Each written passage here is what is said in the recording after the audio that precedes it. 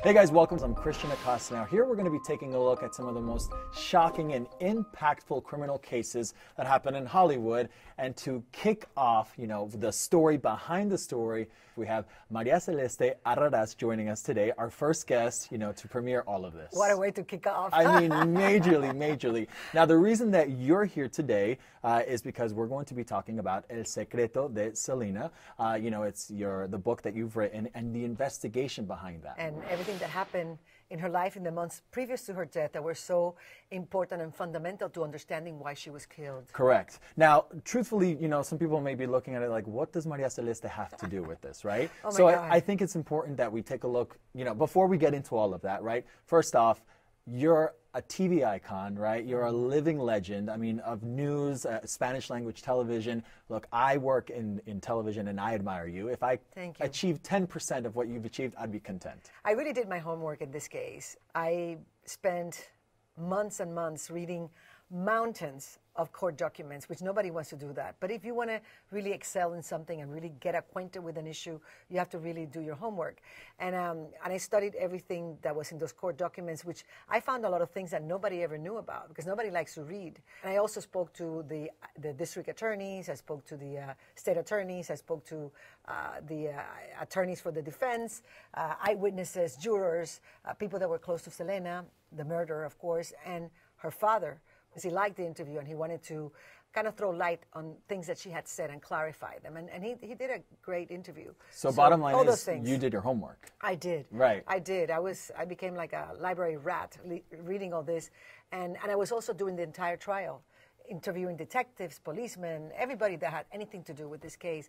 And it was in that manner that I was able to put together the pieces of, it, of this very complicated puzzle. Because originally everybody thought this was a black and white issue, but it was really more complex. Absolutely. Now, you, again, as I've mentioned, are an icon of, of television. You have a career that spans decades, right? We, of course, we all know you're from Telemundo's Al Rojo Vivo. course. This was like almost like a little after the beginning of your career, we could A little say, bit after. right? A little yeah, bit it was like in the early, be- early, early beginnings. early stages, right? I like was phases. already, I was already established. I already had a very, uh, Big very um, successful TV show. Right. And it was doing great, and it was seen in 15 Latin American countries and in the U.S. coast to coast, and it was one of the top shows. But I wanted to do something that really showed the world that I was a real Journalist. journalist, a, a serious journalist, because we, you know, we used to have a, a show in which we had a, a translucent table, always with miniskirts crossing the legs, and I didn't want to be like a, like a bimbo reading out of a teleprompter. Right. Nothing further from the truth. I wanted to show that I had a brain and, and that I was very prepared to do something serious. And this was a great opportunity. This was it. This was it. Gotcha. So, what, what do you think led you up to that? Like, what qualities did you feel like you had that set you up for this moment? The first one was coincidence. I was in the right place at the right time, even though it was the wrong time for, for our beloved Selena. Right. Uh, when she was uh, shot, I was in the newsroom, and that day I had gone earlier. So nobody else, none of the other anchors that work along with me in the network were present. It was just me. So when they say that she was shot in the newsroom, I was the first one to go and sit down and, and give the news. And then I came back again uh, shortly after to give another news brief. And while I was talking about what we knew up till then, through the IFB, my producer said she's dead. Right. So I had to li- literally live say the news that was so impactful. Now, on our next episode, we're going to dive deeper into that because I want to go into that majorly and you know discuss what exactly happened, what was going on through your It was an unforgettable right? day. Absolutely. Uh, going back to this investigation, I've actually seen some interviews, right, that you've done, and people have asked you like, what, why, why are you writing about Selena's death? And you, you know, your example is, well, you know, journalists write about, you know, uh, figures like, for example, John F. Kennedy, right? Yeah. But there's always an, Oh, so an- many more. Of course, James so Dean, many. Marilyn yes. Monroe, Abraham Lincoln, everybody. Absolutely. Maybe one day people will write about me. Who knows? Well, hopefully for the right reasons. We want to get killed no, no, because we're mentioning all the ones that have died. We won't go there yet, right? but there, there is always a, a connection or something that sort of uh, just just drives you towards that figure, towards that person, towards that story. What was it about Selena that you said, "My God, I've got to look further into this, and you know, in the future, write a book"? Well, what what what I saw in the story was that it was so existentialist in the sense that everybody uh, has a goal, everybody has dreams, and we all fight for them and we all work hard to achieve them. But if we make the wrong decision at any point, we might be derailed from that road, and in this case, fatally, like Selena. Uh, so her end, uh, because she made the wrong decision. She trusted Yolanda Saldivar, even though people that were very close to her for a long time had been telling her that this woman was no good news, that she was bad news. And even when her inner voice was telling her already that she should get rid of her because she was a toxic friend, and she didn't do it. So this story had such a lesson for all of us that we have to not only always pursue our dreams and work hard, but also be very careful about the decisions that we make because just one will turn everything around. Absolutely. Now, there's been other cases of, of, I guess, intrigue and shock and impact, right? We've had Jenni Rivera, Valentina Elizalde, uh, Kevin Fret, you know, Right, this right, past year. course. Why haven't you looked into those in the same way? Like, what stood out about the Selena case? Well, they're very different. First of all, the times are different. Back then, this is many, many years ago, a quarter of a century ago.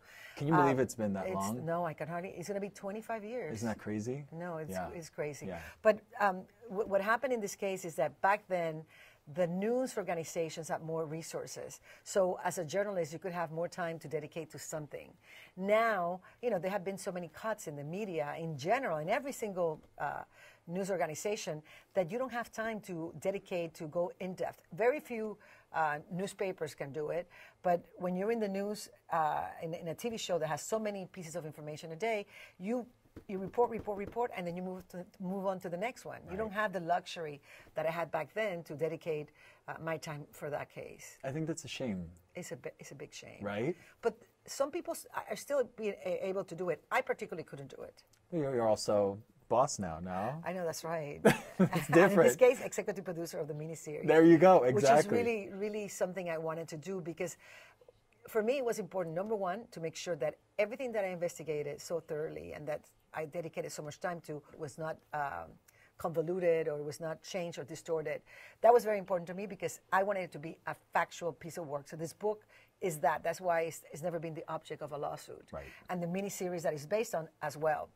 But I also wanted to make sure that as an executive producer, I had a, I could care for every detail to make sure that Selena's memory was respected, that nothing was said or done that would throw not even the most minimum uh, shadow of, of a doubt over Right. her reputation. Right. Now, throughout this investigation, what would you say is the biggest misconception about oh the my? God, I can tell you that right away. Uh, well, about my book in particular, the biggest misconception is that people say that this was Yolanda Saldivar's uh, version. And it's not. It it's really not. I, I would be nuts, crazy to Right. do uh, a work, uh, whether it's a book or a miniseries, based on the on the testimony of a murderer, Right, convicted murderer, murderer, mhm. exactly. Uh, no, that has nothing to do with it. And the other misconception is that this was a, a very simple case. Like I mentioned before, this was not black and white. This was a very complex case. It was like a like a real life t- TV novella, you know, but you know, without having to, to, to add anything to it. It had it by itself. When you were doing your research, did you have any moments where you said, you know, those eureka moments, right, where you say, "Oh my gosh, I found this." You know, when you see when you Yes, see the, the television programs and the movies, and you see, "My gosh, I found this," right?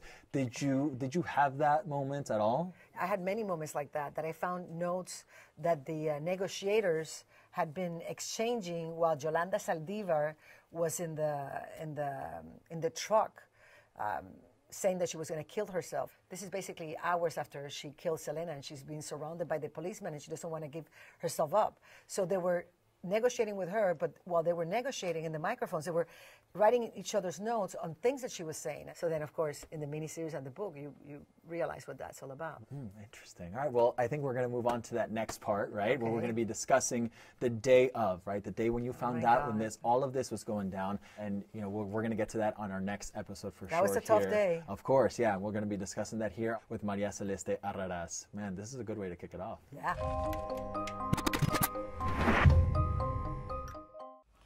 Bueno, y si ustedes todavía no se han suscrito, se dice suscrito, suscríbanse. suscríbanse. Acá se los juro que nos van a querer a todos, ¿verdad, Cristian? Sí, la verdad que nosotros pasamos súper bien y ustedes ya con nosotros aún más. Podemos ser amigos. Suscríbanse. Suscríbanse.